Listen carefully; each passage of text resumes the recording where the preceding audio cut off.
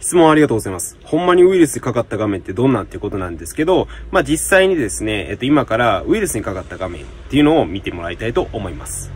えっと、こちらがですね、一番わかりやすいメムズウイルスといってトレイの木馬の一種になるんですけど、こちらのウイルスにかかるとですね、まあ、ブートセクターが破壊されるんですね。で、このブートセクターって何かって言いますと、OS が起動するときに参照する領域なんですけど、こちらを破壊されることでですね、パソコンが立ち上がらなくなる可能性っていうのがあるんですね。まあ、それだけ最強のウイルスと言われています。まあ、基本的になんですけど、こうネットを閲覧してていきなりウイルスにかかりましたっていうのはですね、大体がこう偽のウイルス広告なんですよね。で、えっと、本当にファイルとかをダウンロードしてきて、まあ、それでウイルスを検知しましたって Windows Defender とかがこう作動した時にですね、まあ、それは本当のウイルスにかかったということなんですね。なので、こう見知らぬファイルとか、こう信用できないファイルとかはですね、こうむやみやたらに、インストールしたりとか、こう開けたりしないということですね、まずは心がけてください。